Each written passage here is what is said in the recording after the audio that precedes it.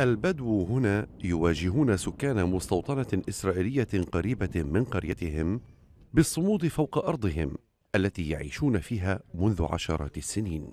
ويفصل سياج بين المستوطنة الإسرائيلية وقرية الزويدين التي يسكنها البدو الفلسطينيون.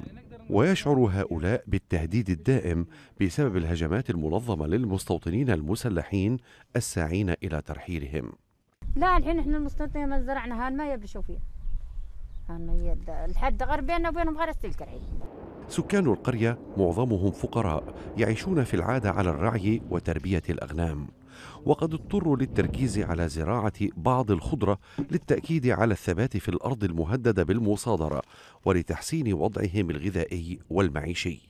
فكرة كثير فعالة وكويسة. يعني أولا يعني ساهمت في إثبات الأرض وحمايتها من الاعتداء من المستوطنين. وساهمت في الدخل يعني أصبح هناك مردود يعني للأسرة. تقع القرية في المنطقة جيم التي تخضع لسيطرة إسرائيل بموجب اتفاقيات أوسلو.